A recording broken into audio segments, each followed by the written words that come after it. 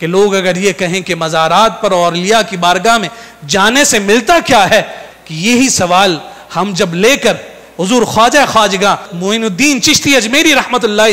ख्वाजा गरीब नवाज़ की बारगाह में पहुँचे और उनसे पूछा कि हज़रत बताइए मज़ारात पर जाने से किसी साले बंदे की कब्र के पास बैठकर इबादत और रियाजत से क्या मिलता है?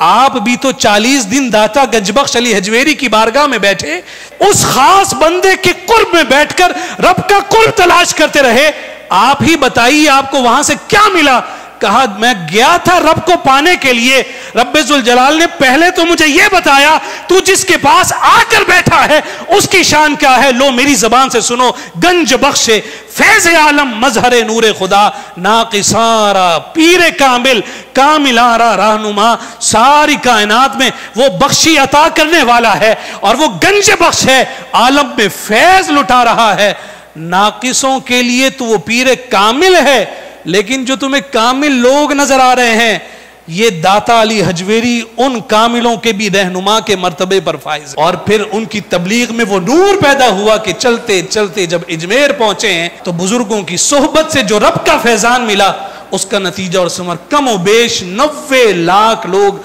आपकी तबलीग से दार इस्लाम में दाखिल हो रहे हैं।